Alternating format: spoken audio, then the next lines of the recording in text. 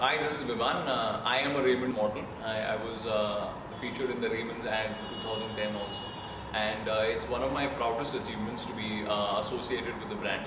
Um, when you're, you know, when you're an upcoming struggling model, you've always uh, looked at the hoarding on Haji Ali and you've seen it and you've always looked forward to and you've always prayed and wished that someday I can be on that hoarding and be featured in that lovely, uh, lovely suit, in that lovely fit and um, you know uh, be a part of that campaign. And uh, I was lucky enough to be selected in 2010, and um, uh, things have skyrocketed for me since then.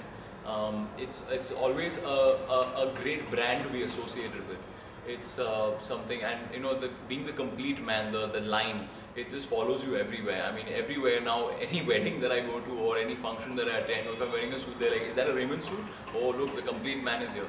You know so there's there's there's a lot of uh, there's a lot of um, you know uh, fan base that comes along with it. Uh, from a purely work perspective it's uh, very important to be associated with a brand like this because um, you know being part of the Raymond's brand says that you've arrived on the modeling scene.